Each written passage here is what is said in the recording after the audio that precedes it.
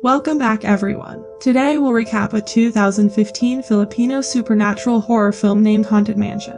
A girl who has the ability to see ghosts spends the night in a haunted mansion with her classmates, who at first decided it would be fun to look for spirits but soon discovered the terrifying truth. Kindly remember to like, comment, and subscribe if you liked the video.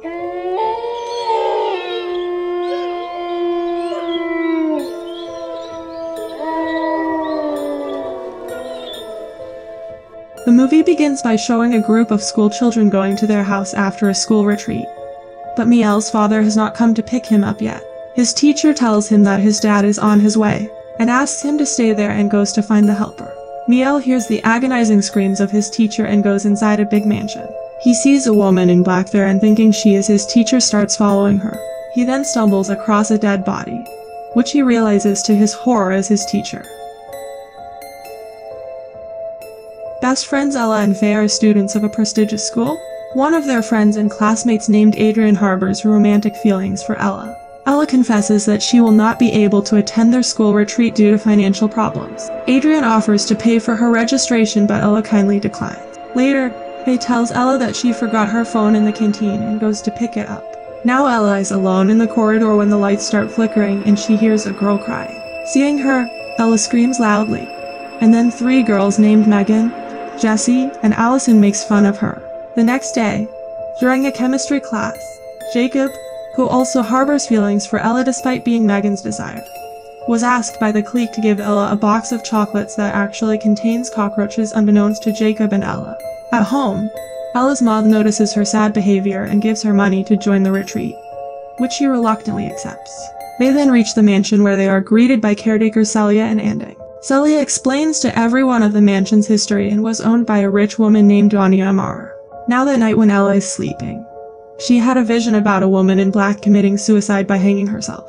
She wakes up scared and sees that black lady on the window.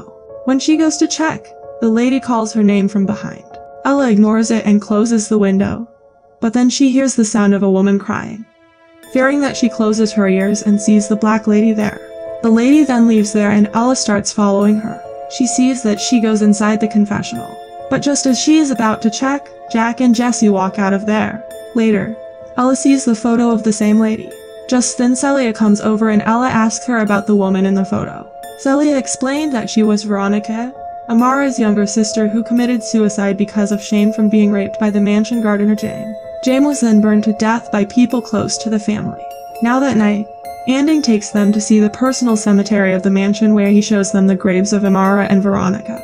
Later, Adrian overhears Jacob's friends that he only likes Ella to make Megan jealous. That night, Ella, Faye, and Adrian were terrorized by whom they thought was a ghost, only for them to find out that it was another prank pulled by Megan and her clique. Adrian here reveals that Jacob is using Ella to make Megan jealous. The argument ensues into a violent fight, which was stopped by an angry Miss Gonzalez and Miss Toss. Then Miss Gonzalez tells them that now they are not allowed to attend the remaining activities in the retreat, and instead serve detention by cleaning the whole vicinity. Later that night, when Ella goes out to throw the garbage, she is haunted by the ghost of Jamie and ended up fainting in fright, thinking it was another prank pulled by Megan. Miss Gonzalez says that to fix them all, they have decided they all will stay for another day in the mansion to work out their differences. Now the next day, Ella confessed to Adrian that she has the ability to see ghosts and when she was younger, caused her father to be killed, for which she blamed herself. Here Jacob is also listening to these things from outside. That night Megan and the group decide to haunt ghosts but Jacob refuses to join them and leaves. Ella warns them that it is not a good idea and something bad may happen to them. Now after they leave, the rest decide to leave Megan's cell phone plugged in a battery pack in the confessional in hopes that they will record the Black Lady's voice. A storm hits the town and causes a power outage the next morning while water begins to flood the mansion. That night, Steve remembered Megan's phone and asked if she has already retrieved it. He goes to get it alone while the others were fixing candles and putting buckets in leaking areas. Father Anthony noticed Allison, Steve, and Jack's disappearance and Jesse volunteered to look for them. Now all of them are checking the leakage when suddenly all the windows open and a chandelier suddenly drops on the floor and injures Father Anthony's legs rendering him immobile. Jesse found Jack who was revealed to be cheating on her with Allison. On the confessional, Steve retrieves Megan's phone and decides to listen to if there were voices recorded, and gets friend when James Ghost appeared pointing at something. He tried to escape but was caught by another violent ghost. His tongue was then severed and he was killed. Jesse stumbles into Steve's dead body.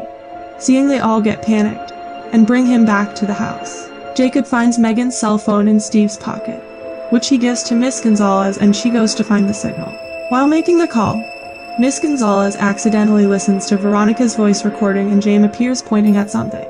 Miss Gonzalez suffers from an asthma attack and orders Jacob to grab her inhaler. Faye stays with Miss Gonzalez and decides to listen to the voice recording as well. James appears once again pointing at something. Suddenly, the ghost who killed Steve appears and throws Faye and Miss Gonzalez to a wall injuring them severely. Ella and the others hear their screams and when they ran to help them, they find their corpses with their tongues ripped out. Jacob tells everybody that he saw Miss Gonzalez freaking out over something she heard on the phone. Father Anthony advises them to listen to the recorded message as they might learn something about the killings. The recording turns out to be Veronica's confession, stating that she committed suicide not because Jim raped her but because they fell in love. Veronica adds that Amara, a witchcraft practitioner, did not approve of their relationship as she had feelings for James also. Due to her practice of sorcery, Amara influenced everyone to believe that Jim raped her sister and burned him alive. This led to Veronica committing suicide as she lost the love of her life. Eventually, Amara died too. Until now, she don't stop going to the confessional to ask forgiveness for what she did. Ella learns that anyone who hears Veronica's confession will be killed by Amara because she did not want anybody to know the truth. Now that all of them had heard the confession, Megan says that now they all will die. Suddenly James' ghost appears and points at Amara's ghost approaching them. Seeing her, they get scared and start running. Celia and Anding try to open the door but Amara blasts them through the glass door eventually killing them. Ella, Adrian, and Jacob carry Father Anthony to safety. But they see that Amara is following them. Father asks them to leave him behind stating that the Lord is with him no matter what. The trio reluctantly leaves him and Father starts to read prayers. But it seems it was not affecting her. Amara then disappears from there. But suddenly she attacks and kills him. On the other hand, Megan and the others cross the flooded area outside the mansion, wherein Allison is pulled down by a supernatural force. Jack and Jesse who noticed her disappearance are also pulled down and killed before they can warn Megan, Megan now alone encounters Amara surfacing up from the water feasting on the tongues of her three friends. Seeing this, Megan starts running away in fear. But Amara lifts her grabs her neck, and finally kills her. Now the three are hiding from Amara when Ella remembers her mother saying that her ability to talk to spirits is a grace from God, and it happened for a reason. Ella is then drawn to a vision of the afterlife and is greeted by Veronica and James. They tell her that to stop Amara she has to take her body out of her grave and must destroy it or put it on fire. That is the only way to put an end to Amara. She has to do it before she transforms into a human being. The trio then heads to a private tomb in the back area of the house to exhume Amara's corpse. Jacob and Adrian break her tomb and take out her grave and find that Amara's remains are still inside it. Ella tells them that now they have to destroy her corpse. And before Jacob could destroy the corpse, Amara stops him. Now seeing this, all three get very scared and start running away. But Jacob gets injured.